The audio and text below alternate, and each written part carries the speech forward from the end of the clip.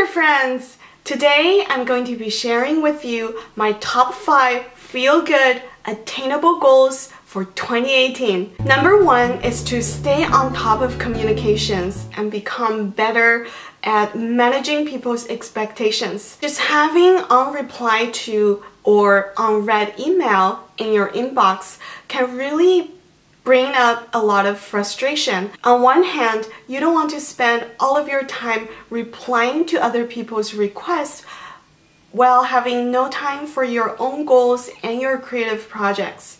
On the other hand, you don't want to really make people frustrated because if you're in a professional setting, there are going to be expectations. According to a Boomerang survey, 50% of the participants reply within two hours. 70% of people expect an answer within four hours. I came up with three tips that's to help me, hopefully also help you to take the pressure off, reduce the stress level, and also make sure you have enough time and mental focus to stay on track with the creative projects and all of those high impact things that you need to do to move your goal forward. Number one is to set expectations for others using email.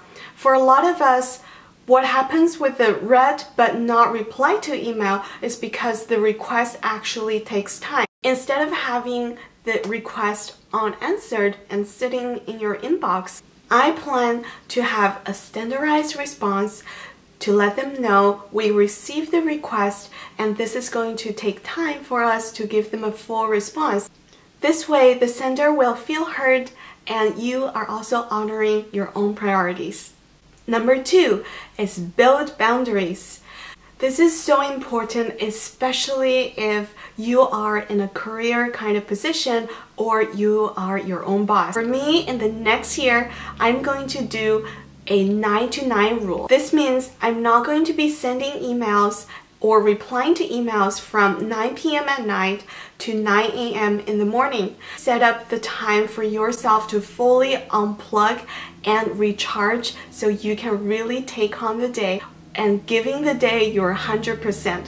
My third tip is to give myself the freedom to say no. As a business owner, I have promotional requests that sometimes I find is not a good fit for for me and it's not good a fit for the other person as well. So instead of trying to um, protect their feelings in a way, trying to come up with an elaborate response and explaining to them why it's not a good fit to work together, next year I'm going to actually this year I'm going to allow myself the freedom to just not reply to those emails because this way I'm going to allow the sender time to really go after the partnership that's really going to benefit them and grow their business as well. I'm inspired by two books by Marie Kondo.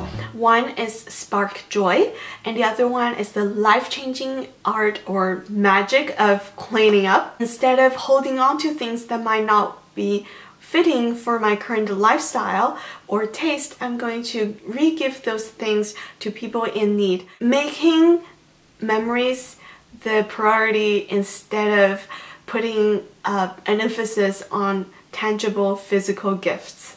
Number three is creating emotional boundaries.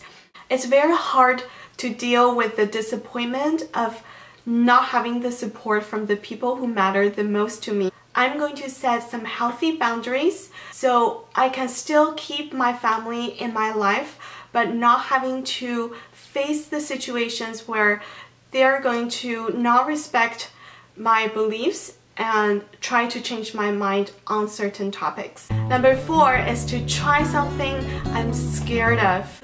In the past year, I relearned how to skate and this year I'm going to learn how to paddleboard. My goal number five is to keep adding on to my recipe collection, Sweet and Savoury Health.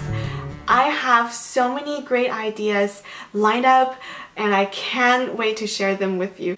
As a challenge to myself, I'm going to keep trying out new healthy ingredients and keep you posted. I always tell my clients before they start working with me that they're going to go on this amazing journey and embracing so many different options and they will never feel that they are restricted in any way or they're going on any type of diet. I want to invite you to join me on this five day challenge. I want to show you how amazing you can feel when you incorporate these five easy tips into your daily routine. This is going to be a completely free challenge. I'm going to be doing this myself and how to sign up is in the description link below. Take care guys. I hope you have the most amazing 2018 and I will see you soon. Kombucha cheers!